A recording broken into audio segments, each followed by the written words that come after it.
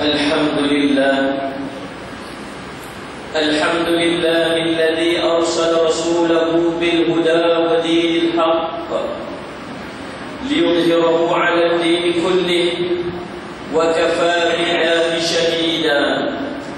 أشهد أن لا إله إلا الله وأشهد أن سيدنا محمدا عبده ورسوله. ونصلي ونسلم على حبيب الكريم سيدنا مصطفى صلى الله عليه وسلم وعلى آله وأصحابه ومن تبعهم بإحسان إلى يوم الدين أما بعد فيا عباد الله أوصيكم بتقوى الله فقد فاز المتقون Sidang Jumaat yang dirahmati oleh Allah sekalian Saya berpesan kepada diri saya dan berpesan kepada seluruh yang hadir pada hari ini. Marilah kita berusaha untuk meningkatkan ketakwaan kita kepada Allah Subhanahu wa taala dengan cara dan jalan yang telah ditunjukkan oleh Allah di dalam Al-Quran dengan cara dan jalan yang telah ditunjukkan oleh Nabi sallallahu alaihi wasallam sama ada melalui perbuatan atau melalui percakapan Rasulullah sallallahu alaihi wasallam yang membawa kepada matlamat supaya kita bertakwa kepada Allah Subhanahu wa taala di antara anjuran yang telah Allah sebutkan di dalam Al-Quran untuk membawa kepada takwa di sisi Allah Subhanahu wa taala ialah dengan kita berpuasa pada bulan Ramadan seperti yang Allah telah sebutkan di dalam Al-Quran a'udzu billahi minasyaitonir rajim ya ayyuhalladzina amanu kutiba alaikumus shiyam kama kutiba alal ladzina min qablikum la'allakum tattaqun wahai orang-orang yang bertakwa wahai orang-orang yang beriman telah difardukan kepada kamu untuk berpuasa seperti mana yang telah difardukan kepada orang-orang yang terdahulu daripada kamu mudah-mudahan kamu tergolong di dalam kelompok orang yang bertakwa di sisi Allah Subhanahu wa taala sidang Jumaat yang dirahmati oleh Allah sekalian malam ini insya-Allah kita akan melangkah masuk ke dalam bulan Ramadan. Mula pada malam ini amalan kita sudah tidak sama seperti mana amalan kita pada waktu ini. Solat kita solat kita sudah tidak sama seperti mana solat yang telah kita yang kita lakukan pada hari-hari biasa. Bagaimana Nabi sallallahu alaihi wasallam telah menyebutkan pahala dan ganjaran solat yang kita buat dalam bulan Ramadan solat fardu itu 70 fardatan fi masiwahuma salli ala sayyidina Muhammad fi masiwaha 70 kali ganda digandakan oleh Allah dibandingkan dengan solat-solat fardu yang kita lakukan pada hari-hari biasa tuan-tuan yang dirahmati oleh Allah sekalian amalan-amalan sunnah yang kita lakukan pada malam ini digandakan oleh Allah seumpamanya amalan-amalan fardu hebat dan besarnya malam ini insya-Allah Allah akan memurniakan kepada kita ganjaran-ganjaran pahala berupa maghfirah di sisi Allah pengampunan di sisi Allah malam ini akan bermulanya rahmat limpahan rahmat dan kasih sayang Allah akan bertebaran kepada kita seluruhnya pada malam ini Allah menunggu-nunggu kita untuk bangun pada waktu sahur yang penuh barakah tasaharu bersahurlah kamu fa inna fis suhur barakah sesungguhnya pada waktu sahur itu ada berkahnya pada waktu itu Allah menunggu yanzilu rabbana tabaraka wa ta'ala fi kulli lailatin ila as-sama'i dunya turun Allah subhanahu wa ta'ala ke langit dunia may yad'uni fastajib lahu siapa yang berdoa kepadaku aku akan aku akan tunaikan aku akan makbulkan wa may yasta'ud wa may yasta'inu wa may yastaghfiruni faghfir lahu siapa yang minta ampun daripada aku aku nak ampunkan siapa yang minta ada hajatnya kepada aku akan aku tunaikan waktu makbul doa waktu nak diampunkan segala dosa waktu Allah nak tunaikan segala hajat waktu yang penuh barakah malam ini insyaallah kita akan melaluinya subhanallah sehinggalah ke 30 hari yang akan datang tuan-tuan yang dirahmati oleh Allah sekalian inilah benar yang Allah berikan kepada umat Muhammad sallallahu alaihi wasallam yang Muhammad sallallahu alaihi wasallam dalam Nabi sallallahu alaihi wasallam telah menyebutkan bahawa umatku nanti separuh lebih daripada separuh aktarin nus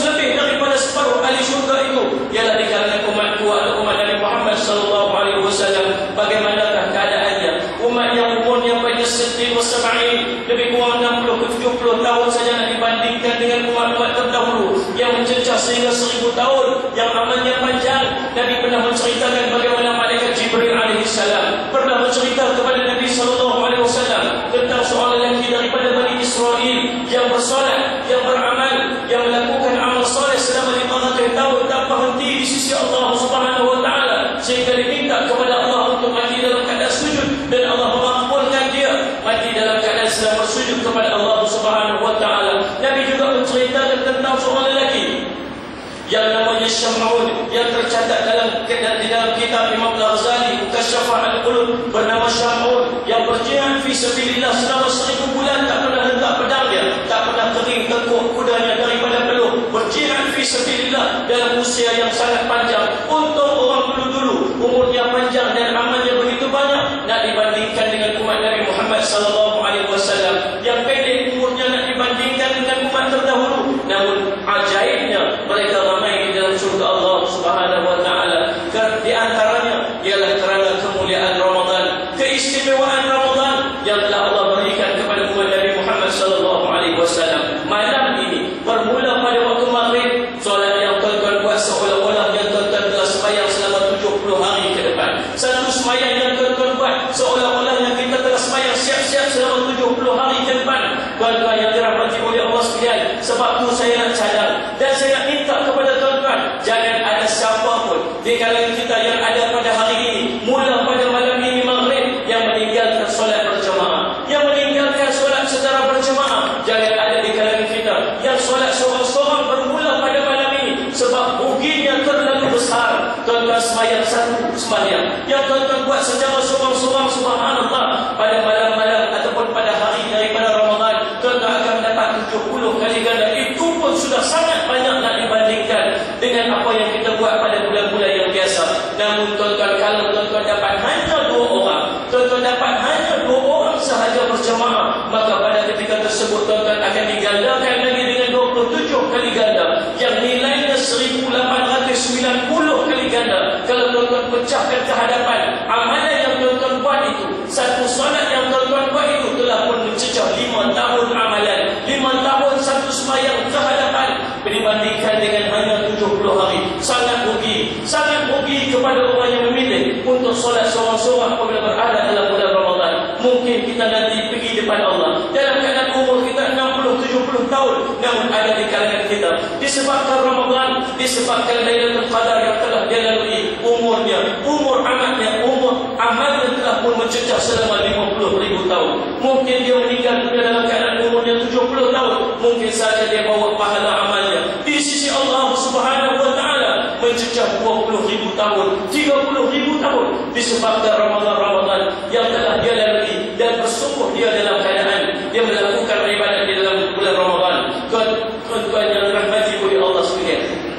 Namun begitu, ada tiga kelompok manusia kata Dr. Yusuf Al-Qardawi masuk ke dalam bulan Ramadan dan keluar daripada bulan Ramadan. Saya harap sungguh-sungguh biarlah khutbah yang kita sebutkan pada hari ini menyentuh hati-hati kita dan kita berasa bersungguh-sungguh untuk menjadi orang yang mendapat takwa di sisi Allah, mendapat hasil daripada Ramadan yang akan kita lalui. Mau tak mau kita akan masuk Ramadan. Suka tak suka kita akan masuk Ramadan. Allah pilih kita untuk masuk Ramadan. Biarlah Ramadan yang kita lalui kali ini bukan Ramadan yang sia-sia. Kita telah banyak membazirkan masa-masa Ramadan yang telah Allah berikan kepada kita. 40 tahun Ramadan telah kita lalui. Kita buang saja. Kita main-main saja. Orang mendapat manfaat yang sangat besar. Mungkin ada orang yang sekarang amalannya telah mencecah 20 ribu tahun, 30 ribu tahun. Sedangkan Ramadan yang Allah bagi kepada kita sama macam Allah bagi kepada dia. Tapi dia manfaatkan. Namun tuan-tuan sekalian, kita sendiri telah membazirkannya. Namun sungguh-sungguh minta pada tahun ini. Bersungguh-sungguhlah kita dengan Ramadan nak jadi orang yang mendapat takwa di sisi Allah kerana ada tiga kelompok manusia yang masuk dan keluar daripada Ramadan. Kelompok yang pertama ialah yang disebutkan oleh Dr. Yusuf Farwi dalam kitabnya Ramadan menceritakan tentang si penyembah-penyembah Ramadan. Siapakah orang yang menyembah Ramadan?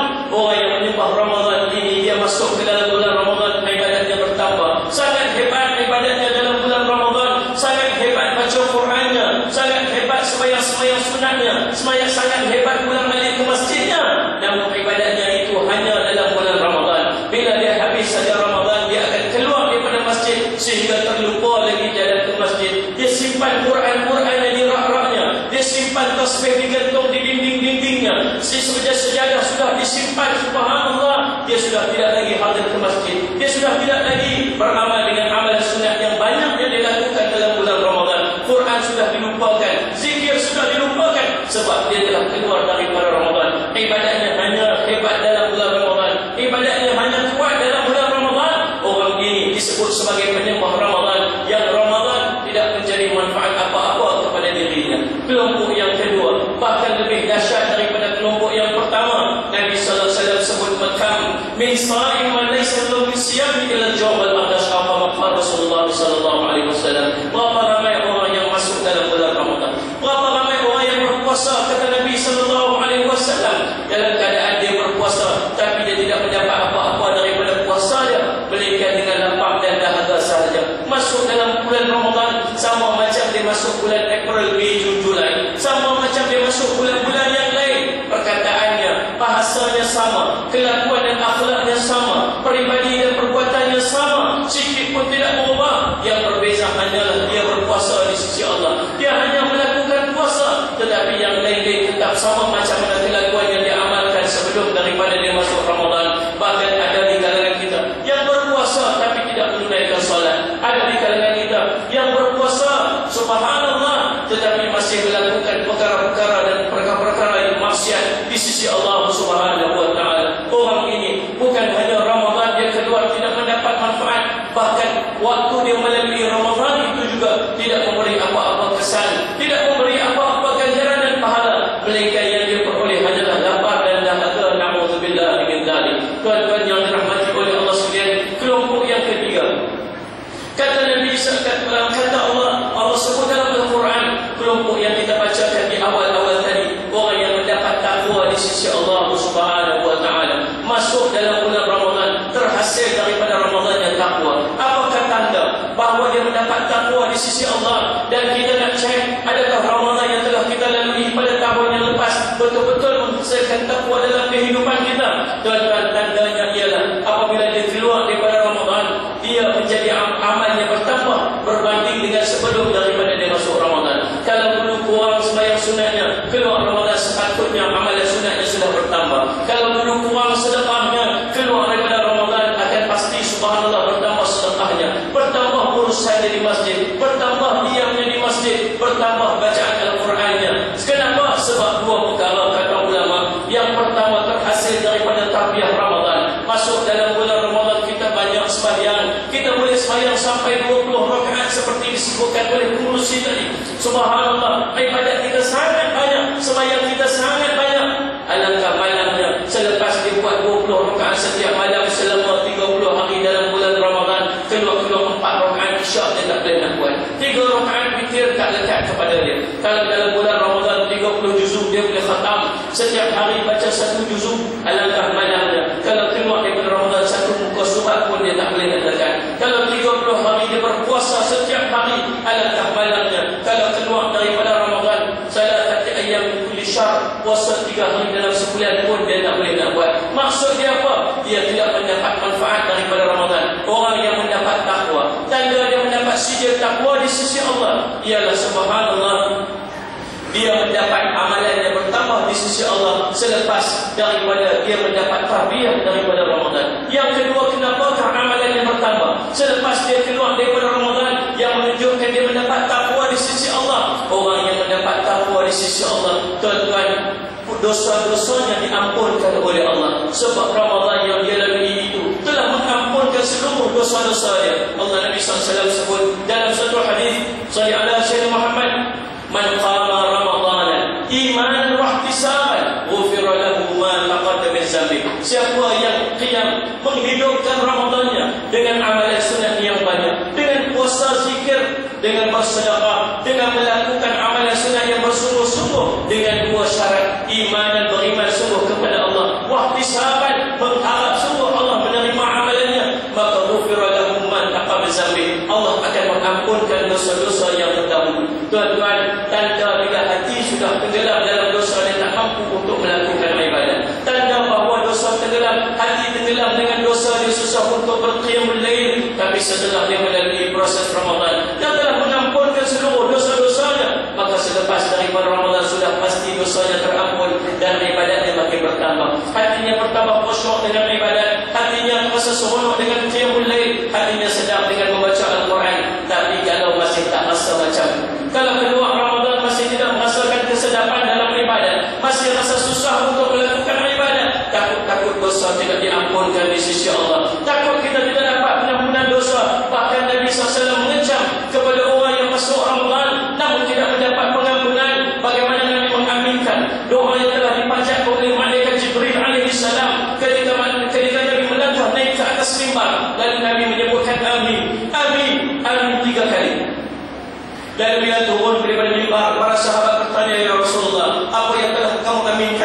Pernah melihat kamu melakukan sedemikian sebelum daripada ini. Dan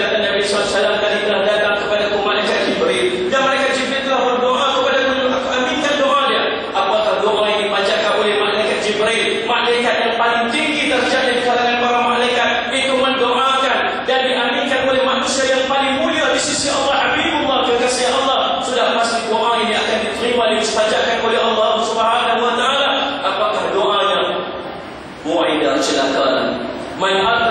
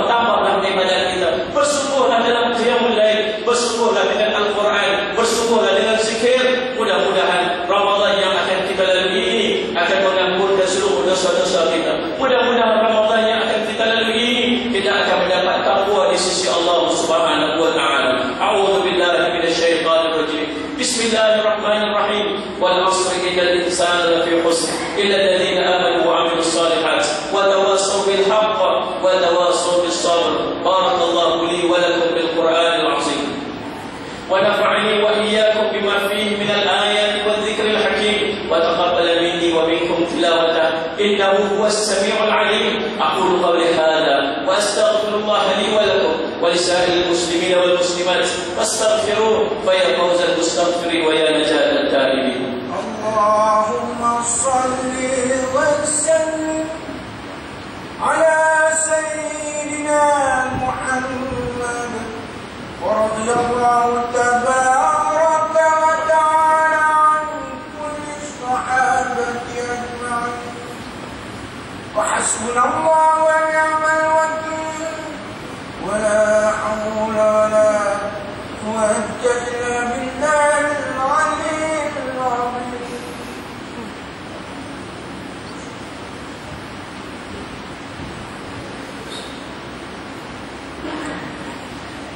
الحمد لله. الحمد لله الذي أنزل على عبده الكتاب ولم يجعل له عوجا. أشهد أن لا إله إلا الله وأشهد أن سيدنا محمدا عبده ورسوله. اللهم صل وسلم وبارك على سيدنا محمد وعلى